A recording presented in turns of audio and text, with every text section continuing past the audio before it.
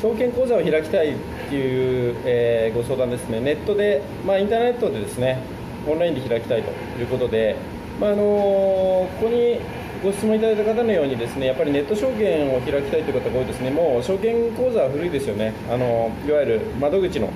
証券口座、手数料も高いですし、まあ、余計なものを勧められるリスクがあるということで、ネットで開く方がいいということなんですけども、まあ、楽天証券、ネットだったら、日本だったら、国内でしたらですね、まあ、楽天証券、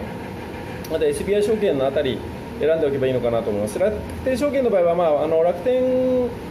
のカードを持っているとポイントがたまるので、まあ、あの絶対に楽天証券の方がおすすめかなと思います。で選ぶのはですねいつもお伝えしている通りインデックス投資ですね SP500 インデックス投資あとは全世界株式、まあ、この2択かなというふうに思います。